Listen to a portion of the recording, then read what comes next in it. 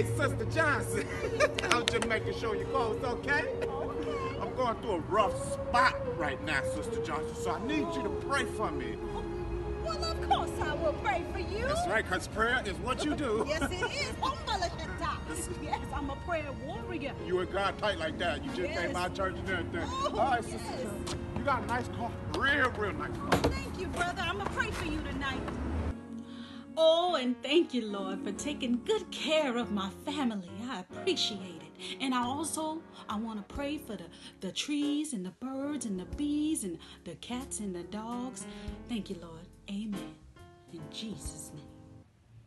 Oh, so that's just it, huh? Yeah, so you ain't gonna pray for me? How the hell you get in here? It don't matter how I got in here, Mrs. Johnson. You said you was gonna pray for me, Sister Johnson, when I was out trying to steal your car. Oh. See, that's why I still call Sister Johnson, because don't nobody pray for me.